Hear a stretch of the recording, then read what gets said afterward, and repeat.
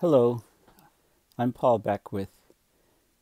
In a number of previous videos, I was discussing the really incredible heat waves uh, that have been seen in India and the Middle East, and how we're reaching um, this 35 degree Celsius, 100% humidity, or you know 95 Fahrenheit wet bulb temperatures. At which point you're you'll sweat like crazy, but the sweat won't evaporate. So you won't have evaporative cooling.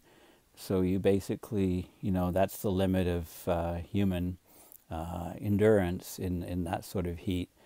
But I'm switching now to the root cause of a lot of these issues that we're seeing with abrupt climate change and extreme weather events, which is basically the the northern regions, the the Arctic, and also the the Antarctic, the polar uh, regions, basically in the northern and southern hemispheres. So, one of the key questions is these feedbacks in the Arctic, and you know how how strong they are, how they're getting stronger all the time, and they're pushing us to a world where we have an ice-free Arctic Ocean. And uh, years ago, I coined this the Blue Ocean event. So, you know, I'll talk a little bit about how close I think we are to this event. You know, the next four or five years, um, you know, sort of at, at, the outer edge of of my estimation of when we'll have this first uh, blue ocean event. So the key question comes into play um, then as to you know what happens next after that. And clearly, there's some very, very powerful feedbacks involving the sea ice and also the snow cover over the land in the Arctic. So it's important to tease out which of these effects is strongest. They're both declining. The Arctic sea ice in the in September, which is the month of minimum ice, so that's at the end of the melt season. The loss of September sea ice is running at about 12 to 13 percent per per decade for the month of September. Now, the snow cover over the land in the spring um, is falling at an even quicker rate. The area decline is something like 22 or 23 percent per decade. So that's you know the we, we often talk about sea ice decline as being responsible for Arctic temperature amplification, the the greatly warming temperatures in the Arctic and people normally say, you know, it's double that of the global average, but it depends on how far north you go. So if you go up to the very, very far north, you know, it's more like uh, four or five times faster warming up in those regions than the global average. And of course, this is key in terms of weather patterns that we experience at lower latitudes because we're getting the jet streams slowing and more meridional heading further north, heading further south, these waves, and these waves are getting stuck. And uh, it turns out that seven nodes around the planet, you know, is is a configuration that kind of fits with the land ocean contrast, where the mountain ranges are, etc. And we're we're getting these persistent stuck patterns, and this is causing, for example, or will cause uh, heat waves you know, massive heat wave in Europe uh, next week, for example. So let's go back to the Arctic and look at how strong these uh, feedbacks are. So this arc actually is a Guardian article, the end of the Arctic as we know it. And it gives you a good kind of overview. You can Google it and have a look at this article yourself. It gives you a nice overview of you know how quickly the Arctic is changing, how you know it's you know we're losing the most obvious things are that we're losing the sea ice. So this is sea ice, right? This is ice that was formed by the melting of seawater. Um, most of it is first year ice. It can grow up to three, four, five meters thick. Um, it's generally not doing that in most places now. It's a lot thinner. It used to survive um, you know, melt melt out, summer melts, and then it would become multi-year ice, and it would reject more and more salt. When when the ocean, the average salinity of the ocean is about three and a half percent salts. Most of that salt is sodium chloride, so that's dissociated by the water. So you've got the sodium ions, the chlorine ions, uh, broken apart. Um, so it doesn't exist as, as, as sodium chloride in the seawater, it exists as the ions. When the ice forms, it rejects most of that salt, so we're down to about a percent or so of content, and th those are brine pockets within the ice. So what these scientists are doing is they they came in on a ship, um, took a dinghy over to the um, ice floes, and they're scraping away the snow at the top, and they're doing coring down to measure the thickness of the ice, the density of the ice, or the salt content. They're looking at the biological life. There's tremendous amounts of biological life on these floes. There's algae in, in, inside the pockets. There's a type of jellyfish. There's all kinds of different life. So they're looking at that, and the, the algae can change the color of the floe. Meanwhile, in the ship, they're doing measurements through the water column to measure the salinity, to measure the ocean acidification, to measure the chlorophyll content, the turbidity of the water, the temperatures, oxygen contents, all kinds of different things.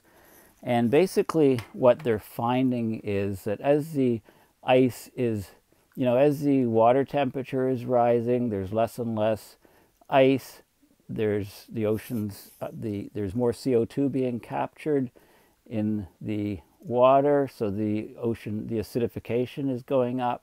There's less oxygen in the water, and so on. And this is actually in the Fram Strait, um, where where these floes are. Um, so this is where there's tremendous um, flow of ice out of the Arctic.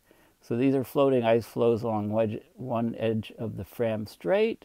And where are we for the Fram Strait? We're talking about, I'll go down to the image here. So there's Greenland, there's Svalbard, this is the Fram Strait. This is generally where the ice is formed. And so what they're seeing is they're seeing these ice floes coming out here.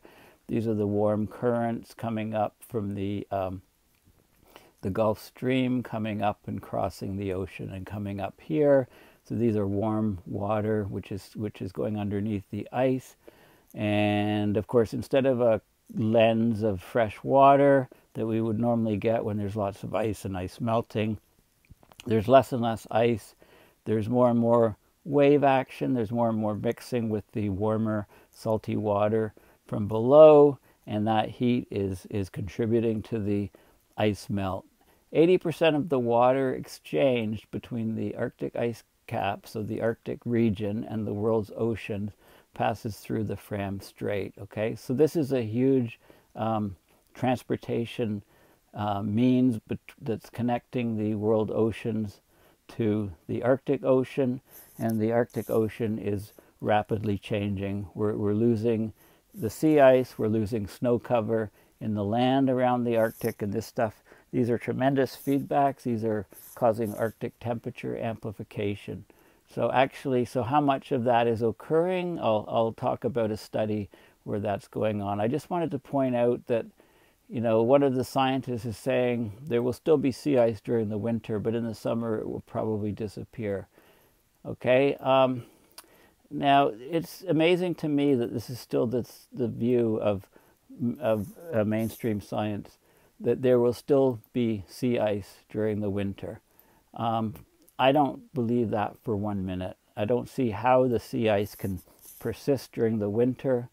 When it goes in the summer with the first blue ocean event, you know, say a September in the next four or five years, within a year or two of that, It'll be gone for August, September, October. Within another couple of years, you know, add July and uh, November. So, so July, August, September, October, November, and then within less than a decade, every month of the year. I, I think we're heading to a planet with no sea ice. But still, if you talk to most of the so-called experts, they say that there will still be sea ice during the winter. I think I think they're they're uh, incorrect. I think they're all they're all dreaming. They're all hoping.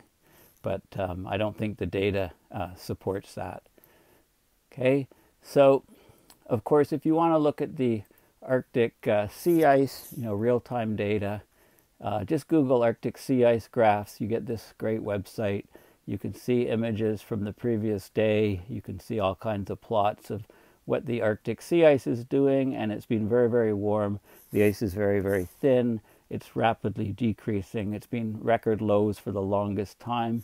Um, this is a previous record low in 2012, the dashed line, so we just went above that. You know, there is fluctuation. You know, it's like a it's like a horse race. Lots of people are watching it. Um, some cheering for it to disappear and get it over with, have the first blue ocean event, and others saying, well, you know, let's let's delay that as long as possible, cheering against it. Now, of course, so so people are overly focused on the sea ice and less so on the snow cover. So let's have a look at the, if we go to the Rutgers University Snow Lab, the Global Snow Lab, you can just Google it and have a look. Um, and I'm looking at the graphs here, um, and this is the anomaly um, anomalies from 1967 to present day for January. Um, and what you can see is there's a lot of fluctuation, but you can see generally in the last number of years, there's been more snow cover um, than previous years. You know, there's been generally, these are, gener- there's more snow cover than, than previous years for the month of January. Now let's just go through the months. So now we're looking at February, a little bit more here, um, more snow cover than, than the norm, the average over that time period. That's February, that's March. Now there's more of variation. Um, you know, some years more, some years less. And then we go to April, and there's more, generally the trend is that there's less snow cover in April. Okay, but there's still some years with more. Now we go to May. Now, May, you start getting, so in April, there was less. In May, you know, most years have quite a bit less snow cover. This is in millions of square kilometers. This is a year um, then the so the anomaly is negative, and then we can go to um, June, and it's significantly lower here. Most years are significantly lower. Um, negative anomalies. We go to July, still negative anomalies, but they're getting smaller. And then August, still negative anomalies, but quite small. And then in September, we start getting more snow cover um, in recent years. October, more. November, more. And December, it's more mixed. Okay, so basically what's happening is, is there seems to be a bit more snow cover, snow cover anomalies in the fall, uh, moving into the winter. But then when you go into the spring, okay, there's large negative anomalies. So we'll go back to April, to May to June. So June, you know, is the most significant here. Huge negative anomalies of, of snow cover in the, you know, on the land in the Arctic regions. This is making the region much, much darker in the spring and it's setting up for the, the summer melt. Okay, so this is a great website. So now I'm going to go and discuss uh, a recent peer-reviewed paper that came out at the beginning of, it was published online early January of this year, and it estimates the contributions of the sea ice and land snow to uh, you know to the, the, the contributions to the to the overall system, the feedback system, uh, the climate feedback. Okay, so it uses NCAR, National Center for Atmospheric Research, uh, the CESM, Community Earth System Model, to try to tease out the contribution of sea ice and land snow to climate sensitivity, to global climate sensitivity. Um, so basically, what they do is they model the increase of atmospheric CO2, and what they do is they they look at the scenarios where there is the scenario that we have with sea ice and, and snow cover, um, and then they take away the sea ice and look at the change, take away the snow cover, look at the change, take away both and look at the change. So I'll discuss this in the next video. Thanks.